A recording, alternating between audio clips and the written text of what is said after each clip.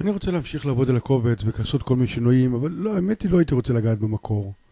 אז מה אני יכול לעשות? אני רוצה לשכפל את הקובץ הזה כדי לעבוד על אחד אחר. במסגרת ה image יש לי כאן את ה duplicate.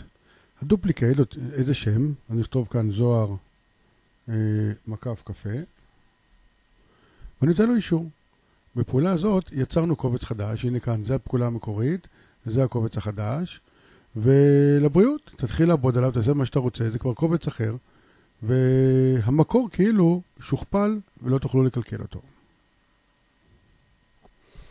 בהרבה מאוד מקרים אנחנו מתבקשים להמרת הקובץ, להמיר אותו לכל מיני אה, פורמטים שונים.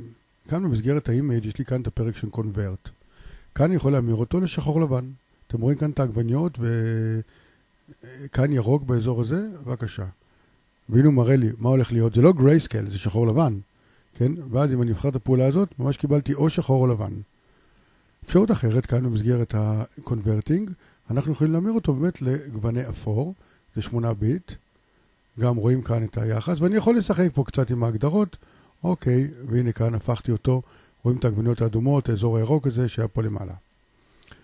אפשרות אחרת, שאני יודע שאני רוצה להכין אותו, למשל, כאן, אני רוצה לשלוח אותו להדפסה לבית דפוס, בית דפוס עובד עם SIM-YK, לא ב-RGB, אז אני משנה אותו, והצבעים באמת מתאימים יותר להדפסה, רק תראו שבאמת הצבעים כאן, מבחינתכם, לפעמים זה עובר איזה שינוי מסוים, שבאמת אה, לא קלקלתם וקיבלתם את מה שאתם רוצים.